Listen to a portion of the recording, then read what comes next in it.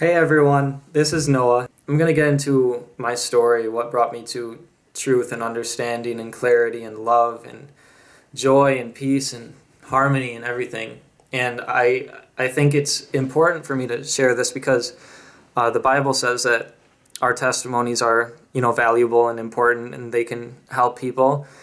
And you know I want to share that with you. I'll get into like my childhood, my my teenage years, my college years, my new age years, my atheist years, and uh, this year when I was sort of reconciled with Jesus Christ and I asked Him to be Lord of my life, and I realized um, many many things after that. Yeah, let's just let's just jump right in. I grew up in an awesome family. Me and my two other siblings, older brother, younger sister, when we were confirmed, we got the option to not go to church if we didn't want to. And I never really had the church sink into me. And I never went to church after that. Um, maybe once or twice, but but that was it. I wasn't interested. I didn't care. Um, you know, I I this was in high school when I was confirmed, but I had gotten into smoking and drinking every once in a while on occasion starting my freshman year. I don't condone uh, smoking marijuana. You don't want that uh, taking your power away. And I'll talk about that a little later too. You know what I mean by it taking the power away from me. So I got confirmed. I never went back to church. My sense of spirituality was um, non existent. My sense of spirituality was not there. I I was wrapped up in my own little world. I was focused on high school, as many high schoolers are, and that's perfectly fine. I wasn't raised like to really like we we talked about God every once in a while, but it was very short and uh, not really in depth too much. So you know, I wasn't spiritual in any way. Uh, senior year, I started researching and I got into researching travel. So I, I really wanted to be a traveler. I wanted to travel the world. I just wanted to see everything. So I graduated senior year. Shout out to all my classmates, all 58 of you. I still have love for all of you. All of you. I still have I still got love for you. Sending it out. Thanks for watching. Um, then I graduated. I took a trip to Colorado. None of my friends came with me, though I invited them because of money issues. But what I wanted to do was experience budget travel. So I wanted to experience how to travel with uh, with the least amount of money possible spent. So I went to Colorado. I drifted around in my car. I saw the cities. I saw the mountains the I just saw the beauty of it. I just loved I loved the mountains. I loved the cities. I loved Denver. I love all that. So, anyways, I I went on this trip and something interesting started happening.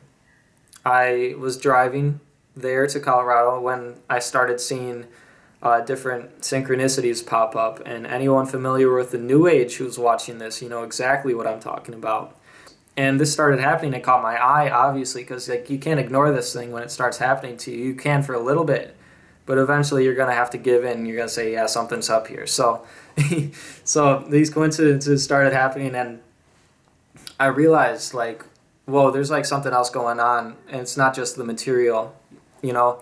And you know that sort of opened my my eyes a little bit along with the whole travel experience and being on my own Oh, forgot to mention, I am in a Quality Inn in Eau Claire right now. That's why the surroundings are different. That's why I've got a different setting, whatever. Um, so where was I? Coincidences, travel. Yeah, I got back and I went to Eau Claire. And I was a freshman in the dorms and you know, I was a partying kid. I got I got way more into weed smoking and drinking. You know, people people all go through their own things, and that's one thing I went through for a little while. Was I was a drinker. You know, it it just uh, drugs made their way into my life more. Then uh, then I took a gap semester. After first semester, I actually took a gap because I didn't want to spend any more money before I knew what I was doing. I wanted to be an entrepreneur of some sort. I just knew I wanted to travel. I used to work at a zoo with these tigers and stuff, and it was cool. And and uh, I, that's where I was working during this gap semester. And then uh, that was election season. So politics was my favorite class in the first semester of college where I was actually in classes. and I got into politics because of it. And the election season came, and then you know Trump versus Hillary, like that bash, uh, really really hit me, and I was all for Bernie Sanders. So I was really really really ticked off, and that was something that I struggled with was controlling my rage. So I really was hitting the research then. And online research isn't always the best, but I was doing I was doing a lot of online research, and um, I researched conspiracy theories. I researched um, spirituality. I started getting into. So I was living with a Buddhist in Eau Claire. I don't know if she still is. Uh, shout out to Sammy. She's my roommate, and her boyfriend Matt. Shout out to you and Abby. Y'all are great. I love you.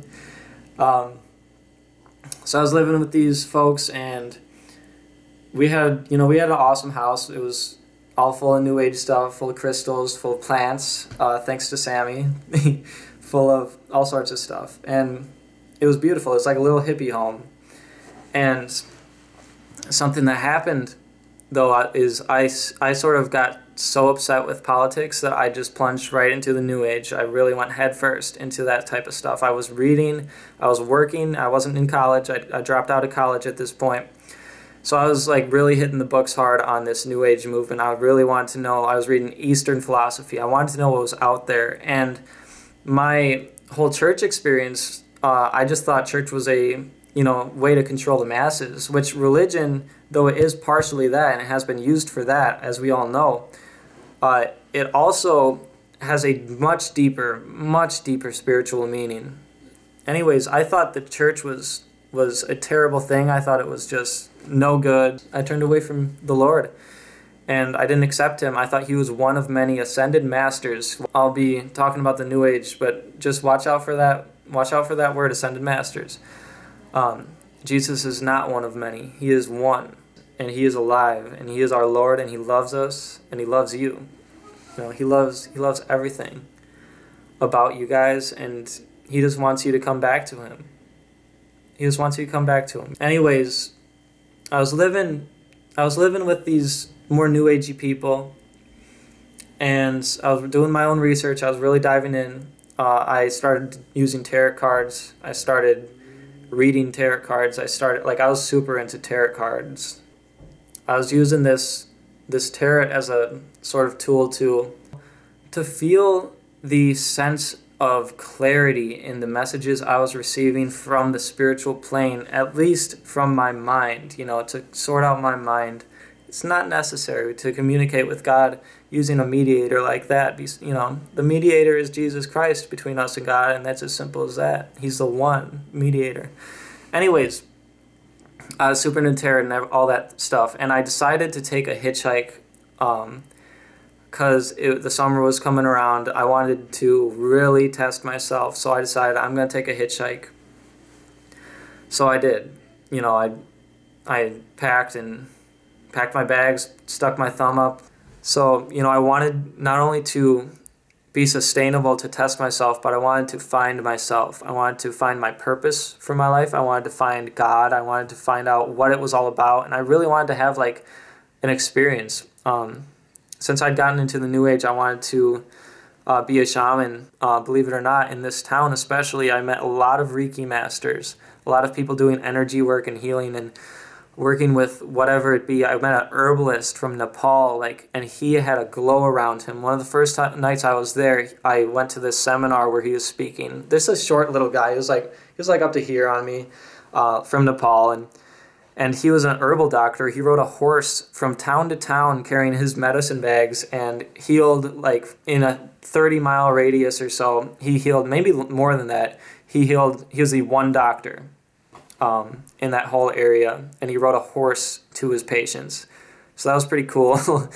um, and he had like a he had a glow around him. Like the dalai lama apparently had done a ceremony three times with him. They had done a sort of ceremony where they filled him with light and sort of locked it in him is what they explained it as. Several things happened. God was teaching me there. He actually showed me what my purpose was there and i broke down crying when i realized what he was showing me. How he was communicating with me was just i was praying to him. I was asking him for it. I did this thing called an all-night prayer it was a Native American ceremony called an all-night prayer, and it was it was a very beautiful ceremony. Everyone was around um, in a circle in a teepee around a fire, like a giant fire in the middle, and we just stayed up all night and basically prayed and sang songs and stuff like that. And my prayer that night was to, you know, prosperity, stuff like that. And I wanted to know my purpose. I really wanted to know my purpose. And I discovered it that very night, God showed me.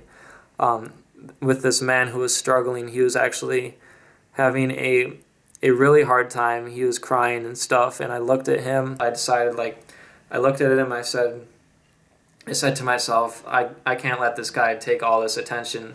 Uh, he doesn't want it right now. He's suffering. I'm gonna I'm gonna get up and do something. So I got up and I started to walk around the circle towards where he was, and I sort of drew the attention off him for the split second that he needed in order to sort of gather himself and sit back down. And I thought it was I thought it was beautiful, and then later I realized um, as I was thinking about it, I realized what God was telling me through that, among other things, among among other things, because this was a long night. We stayed up all night. Um, I realized that God wanted me to help people that were suffering like this man. God wanted me to. God's purpose for my life on this earth is to be sort of like a sort of like just a help a helping hand. It's as simple as that. He wanted me to love people and he wanted me to act on that love, and that's what he showed me that night. I cried. I cried so hard. people were looking at me and I was I was smiling like while I was crying. I was I was so happy that God showed me this this part of myself, this reason for being here. And it wasn't specific, but I realized like it's all about love. It's all about this connection. It's all about helping, easing others' suffering.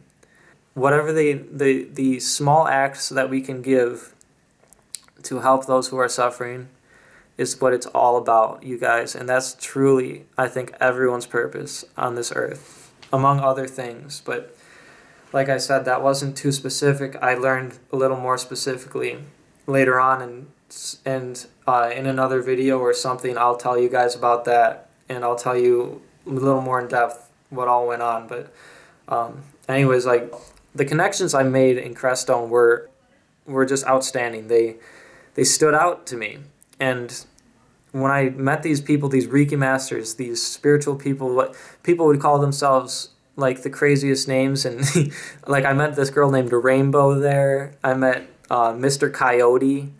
Um, I met all these different people. I, I was staying for a little bit with a man named Noah, actually, same name as my name, and and uh, he and his girlfriend at the time, I think they are still dating. Thank God. They were just so welcoming to me, and and it, it's that's the environment that was there. Everyone was so welcoming. Um, people had different beliefs. There's one guy with strong, strong, strong Christian faith. Actually, more than a few people with strong Christian faith. It's just they didn't all really keep um, keep the subject focused on that. Like they were all over the place. They were still all in the new age. They were still all about crystals and ley lines and energy grids and energy vortexes and auras and chakras and things like that. Tarot, all those types of things. They're still into them. Uh, but they also followed Jesus. It wasn't everybody, you know. There were just New Age people. There were uh, even just Hindu people and um, you know Buddhist people there there are temples there for these religions. There were temples. Then I moved on and I went to Sedona, Arizona. A lot more people probably heard of Sedona. It is a lot more touristy. It's like a new age theme park. It's like a new age amusement park. This whole town like full of new age. And I moved on pretty quick from there. I wanted to explore the energy vortexes, but I didn't know how I was going to do that. If I couldn't find them, I was alone. I was you know, just me and my backpack at this time. I was sleeping outside, and the people were still, everyone who picked me up on this hitchhike was just so beautiful to me. They were willing to take me out, um, give me money, give me food, whatever it was, and just, you know, give me a ride. So it was beautiful. Um, then I moved on from Sedona. I went to LA. I was staying with these beautiful, absolutely the, the most beautiful people I think I've ever come across in my lifetime. These people uh, changed my life in more than one way. They, there's one man I forget his name, but he was playing the guitar. on the beach and singing about peace and love and and uh, improvising on the guitar and stuff like that. It was just beautiful. And his friend, his friend had a dog, and they were living on the beach. They slept on the sand, uh, on these blankets that they had laid out, and they didn't have to worry about the weather much because it never rains in L.A. Right, so so that's what I was doing for about four days, and then I got injured. I don't know what happened with my injury. Most of you who are watching this probably know about it. I don't know what happened. I truly don't. I like. I'm not. I'm not just saying that because I'm embarrassed or anything. Like the the nurses told me that sometimes traumatic experiences will take the memory of what happened out completely and I haven't even dreamed of it. No PTSD, nothing like that, which is actually like a blessing. But I got placed in the hospital and throughout this whole hike though, I knew God was with me. And I felt God with me and God was teaching me.